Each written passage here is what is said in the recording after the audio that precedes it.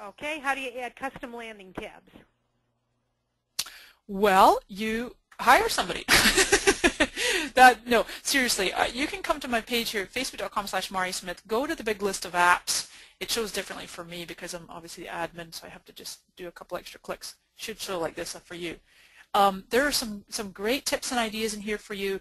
If you are a whiz with graphics and code, great, go for it. Use some, any of these different ones I got here, TabPress, static HTML, uh, IWI page, TabSite, Wildfire has one. These are all free self-serve apps.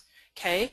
Uh, you can also add your own iframe page, much more technical, have not even done it myself. Um, I, I'm, I know just enough code and techie stuff to be dangerous, but ultimately I'm a marketer. I'm not a coder or programmer or like you said, Joan, you know, a graphic artist, whatever.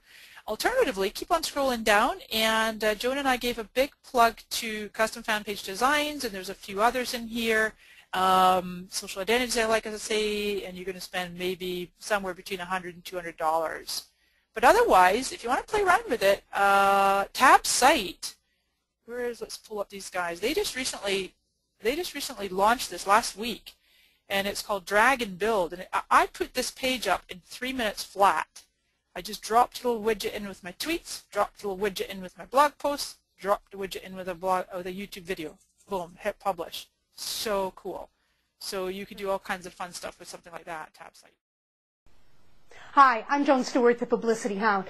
Did you like those tips from Mari Smith, the world's number one expert on Facebook? If you did, there are a lot more where those came from. You can access the video replay of the entire webinar I hosted with Mari by typing in the link that you see here into your browser window. But you're not only going to get the video replay, because while Mari was presenting, I was taking notes like crazy. And I was listing all of the things she said to bring thousands of people to your Facebook page and really convince people to click on that like button. So type the link you see here into your browser and you can get my handy checklist that I put together in addition to the entire video replay. And don't forget the next time you're on Facebook, stop by Mari's page and my page too and post any other questions that you might have and we'll be happy to help. Good luck on Facebook.